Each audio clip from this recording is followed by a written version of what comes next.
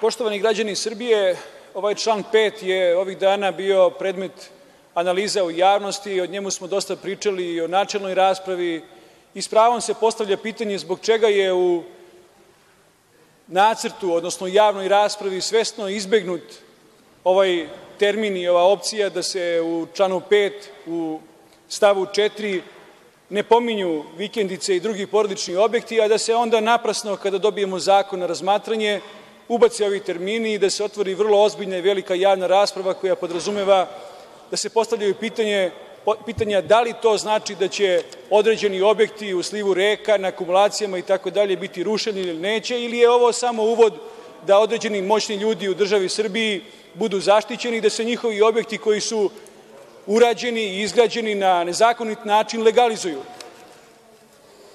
Očigledno je da je i gospodin Babić i gospođa ministarka i svi ostali kolege ovde prisutni u Skupštini da su izabrali opciju da o ovome ne pričaju, da se ne vodi debata, da se ne otvara problem, kako bi što manje bilo komentara na ovu temu, ali ja moram da kažem, poštovana ministarko, da je javnost pravom otvorila ovu temu, pogotovo što ste vi u stavu 6. ovog člana vrlo nemušto objasnili i obrazložili proceduru koja je vezana za izdavanje saglasnosti upravitelja, u ovim slučajevima javnih preduzeća, ustanova, udruženja građana itd. Znači, ne postoji jasna procedura kako će se izdavati saglasnosti od tih institucija prema fizičkim licima, ali ste u svakom slučaju otvorili ovu mogućnost da se vrlo netransparentno, odnosno na mala vrata uvodeći korupciju u ove postupke,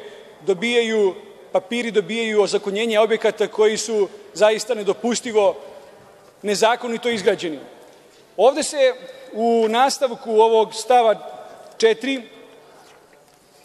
takođe, posle vaših izjava koje ste imali ovih dana u javnosti i rekli ste to će biti samo dozvoljeno u drugoj zoni, pa onda mi smo predvideli da će samo biti zabrana vezana za izvorišta, za vodosnabdevanje itd. itd. Znači, mi smo u vašem obrazloženju ove tačke 4. takođe dobili vrlo nemušte odgovore.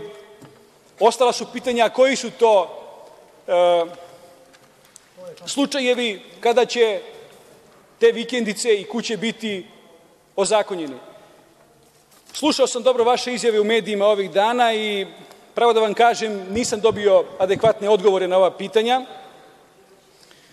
Iz najbolje namere, vi znate koliko smo i vi i ja bili u duelima i vezani za ovu problematiku oko akumulacije Vruci kada je grad Užice ostao bez vode za piće zbog pojave algi pre dve i po godine i dobro znate kakve probleme oko svega toga imaju građani Užica i kakve ste izjave vi davali vezano za taj problem. Ja moram da vas podsetim da je upravo vaša Vlada, odnosno prethodna Vlada iz 2012. godine u području akumulacije jezera Vruci, odakle se grad Užice snabdeva vodom, odnosno snabdevalo se vodom, da je vaša Vlada 2012. godine izdavala rešenja o legalizaciji bespravno podignutih objekata u prvoj zoni sanitarne zaštite, iako je to i u tom trenutku bilo protiv zakona. I kako sada da mi vama poverujemo da ćete vi sa usvajanjem ovog zakona na ovakav način, ovako bahato voditi računa o interesima građana koji se, recimo, snabdevaju sa akumulacija vodozahvata itd. u nekim zonama, odnosno u nekim gradovima u Srbiji?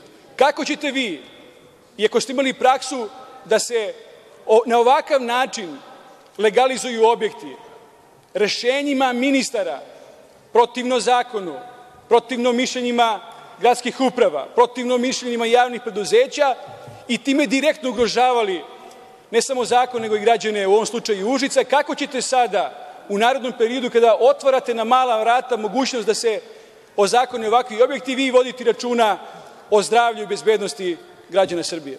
Hvala.